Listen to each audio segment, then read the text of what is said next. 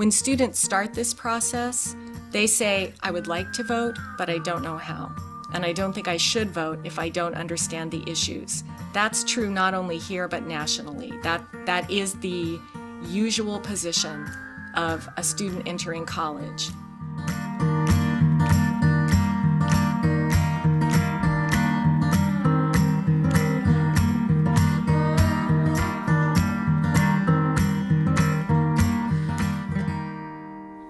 The Chico Great Debate is a partnership between the City of Chico and the university campus to do actually a number of things. It started because the city manager's office was concerned about the level of incivility in some public conversations in city council chambers. And they asked us to think about whether there would be a way to create a public space where contentious issues could be discussed, but civility was at the heart of the proceedings. The origins of the Great Debate Project actually stretch back to the summer of, I think it was 2009, when there were the healthcare town halls across the country. Those town hall meetings were extremely rowdy, a lot of them unproductive, and a lot of people were really angry during those meetings. John Rucker, who's the assistant city manager, observed some of that, along with some of our local meetings here, city council meetings and whatnot, and was just sort of left with a question of how can we do better in terms of public deliberation, policy making, and getting the public involved. He came to Thia Wolf, who is here on campus and works with first year experience with that question. She contacted some of us in communication studies because of our background in speech and debate. I teach argumentation and debate uh, which is basically a class in the Communication Studies Department that teaches both the ideas of logic, um, like the philosophy class, and it's a general education requirement for that logic, but we teach it through the filter of rhetoric. So um, they actually do debates on both sides of a current events issue. They have to take both the affirmative and the negative stance against the issue and uh, they focus on how to develop argument, how to refute argument, how to defend argument against attack um, in a verbal form.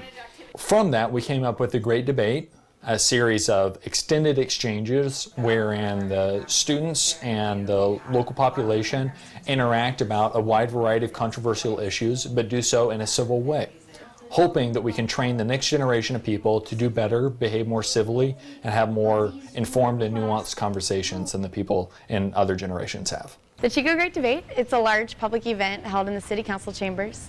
Um, the Communication Studies Department chooses students from their public speaking classes to come forward and um, give presentations, panels, and debates on what we call contentious issue. So any hot topic that raises heat within um, a person when discussed. So this semester's theme is education. As a result, all the students in all the classes will be giving speeches about education throughout the semester. As a result, they get informed both as listeners and as speakers about education reform or whatever the topic of the semester may be. So, their first assignment in the class was to choose a subtopic area of the greater education reform idea. Um, and there were a variety of ideas that got chosen. Some people were talking about sex education in K through 12. Some people talked about um, how we should do away with testing and implement more cooperative basis of evaluating students. Um, some students talked about the funding issues. So there's a number of different issues that arose in those primary research assignments that they did. This semester we're learning in my class about K through 12 education reform and we all have a subtopic. For example, mine's standardized testing and um, we learn the pros and cons and kind of where people stand on it and the issues we face and um, it's exciting because it's something we've all experienced and um, we've all gone through the No Child Left Behind Act. It's all affected us somehow. Our first goal isn't actually related to the topic. Our first goal is that we want the students to learn how to talk to each other for extended periods of times about controversial issues without getting mad at each other, to be able to have a sophisticated conversation about something they may feel really strongly about. And then secondly, we want students to understand the importance of research and the importance of listening in terms of forming political opinions. Pretty much to gear up for it, what we do is um, tons of research on both sides so we can have the most um, persuasive and also informative speech and to also really be informed on our topic.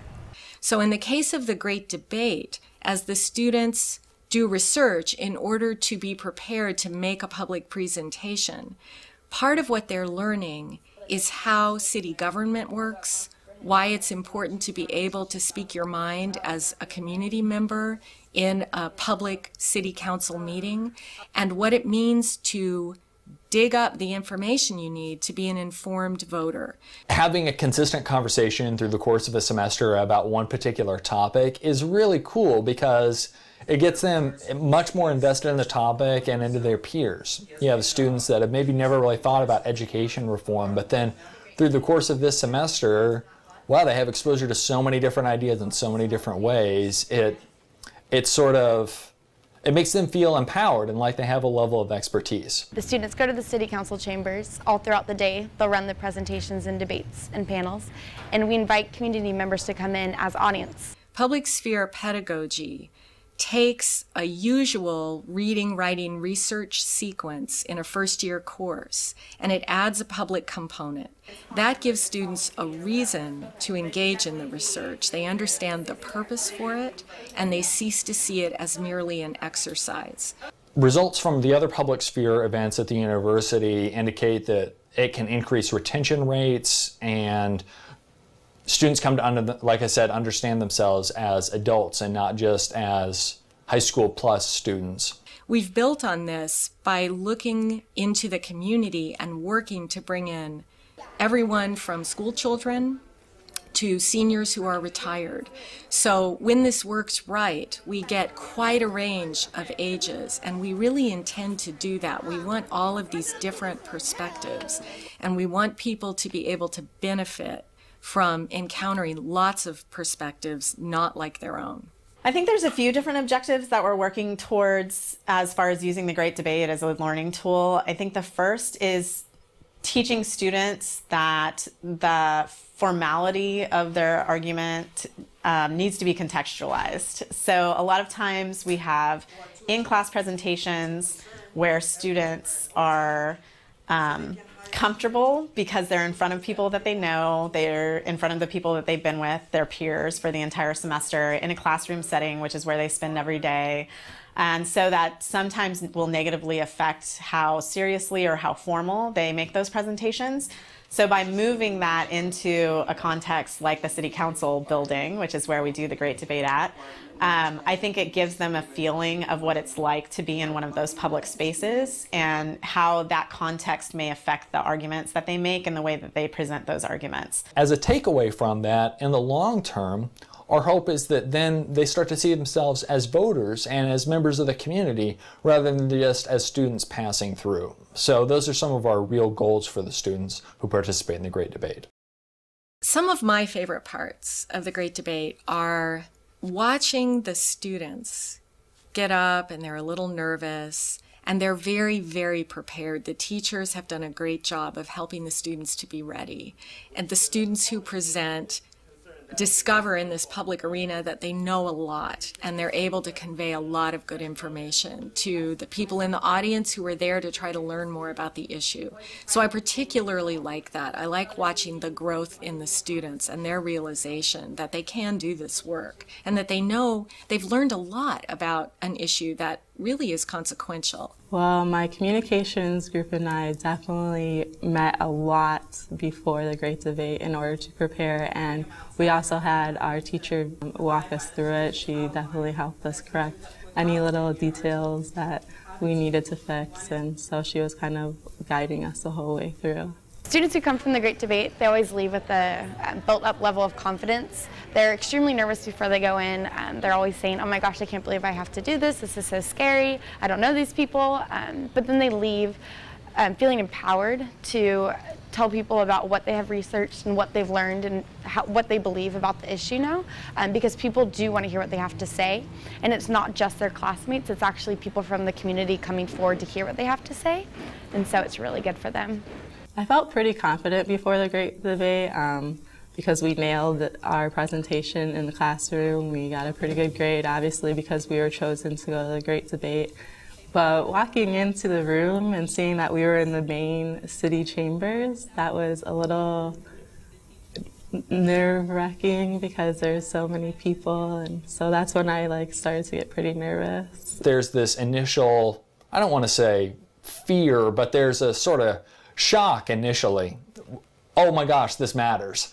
And then after that, there tends to be some real excitement that comes with that and a real sense of accomplishment that you're in the space where important local decisions get made. People are here that aren't your classmates and they're here to listen to what you have to say. And there are people about this that actually care and care about what you have to say. The main event debate takes place in the evening. That involves community members partnered with experienced award winning debate team students. That's always a lot of fun. It's a very sophisticated debate typically. That's a really lively, interesting part of the day. And because it's the final event, it's sort of the crowning piece that we've all been looking forward to. I actually like the arguments on both sides because both were well reasoned and they hit a core. What we hope that people get out of this more than anything else is a commitment to having open, honest, and civil discussions with each other about contentious issues. And I cannot thank our panel enough for modeling that behavior for us. Those are contentious issues, those are incredibly strong opinions, but I've never heard them discussed more persuasively and more professionally. And I hope that that's uh, something that we can model in our own lives around kitchen tables and in the city council chambers as well these public issues, although they are contentious and although there are many people who feel very strongly about one side or the other, if you do research on them and you really delve into the subject deeply, you find that there are probably good arguments on both sides. And even though, because of your past experience or your convictions, you come down on one side or the other, I think that showing them that researching both sides of the issue really opens up their ideas to to being more compromising, I guess, towards what they don't agree with necessarily, but now they can see where those arguments are coming from. At a phenomenally high level, about 85%, these students will emerge from this experience saying that they have more confidence in themselves. They are more interested in having discussions about public issues, which until now they thought only their parents had discussions about. So they begin to see themselves as more like their parents, more ready to do adult work in the world. They often say that they see a purpose for research. They also say they see their college education differently. They see how it's preparing them for work beyond college.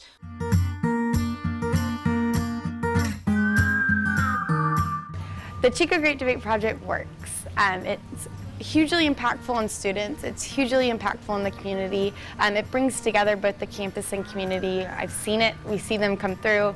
And there's a growing interest from the community, which is so cool because it's a campus event. Anecdotally, the surveys that students fill out afterwards, we could not be more pleased with where they are initially. It was really great. Actually, it, it kind of uh, got me really infuriated, infuriated and excited about, I don't know, politics. I was, after going to the first debate, I actually wrote an angry blog to John Rucker about like, yeah, well, here's my response to your debate, and I don't know, was, I thought it was pretty great. I've, I definitely love this event.